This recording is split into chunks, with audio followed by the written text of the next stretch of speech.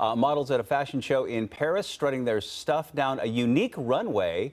Uh, this is Balenciaga. Balenciaga. Balenciaga, of course, just just like I, I pronounced it.